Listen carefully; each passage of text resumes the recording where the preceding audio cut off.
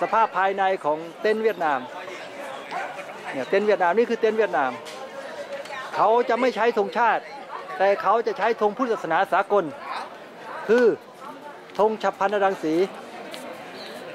ดูนี่คือเวียดนามเวียดนามเวียดนามเวียดนาม เวียดนามเวียดเวียดนามเวียดนามเวียดนามนี่ไง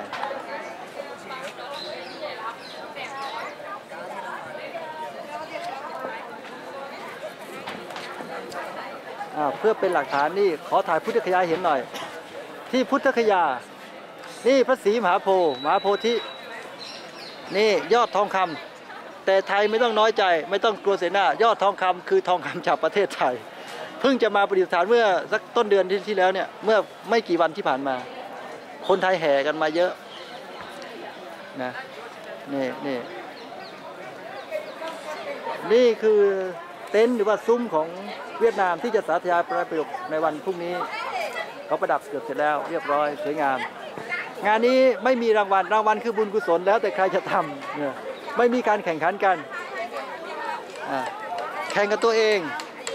แข่งกันละกิเลสนี่คือการสู่แข่งขันกันเพื่อละกิเลส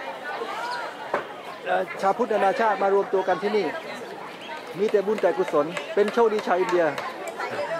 ได้จตุปัจจัยพอสมควรอินเดียเรา ข้าง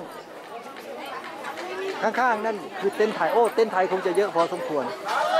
เต็นท์ไทยคงจะเยอะพอสมควรแล้วเพราะใหญ่ โอ้ เท่าที่ดูนี่เต็นท์ไทยใหญ่กว่าเขาเลย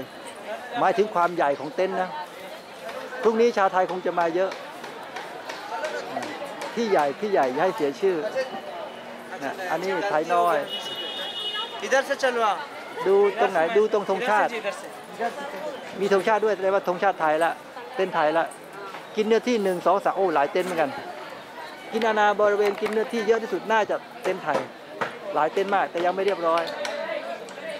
โอ้ยิ่งใหญ่กว่างานประจำปีหลายเท่าเลย เป็นศูนย์รวมชาวพุทธนานชาติ นี่เต้นไทยทั้งนั้นเลยเนี่ยหลายเต้นมาก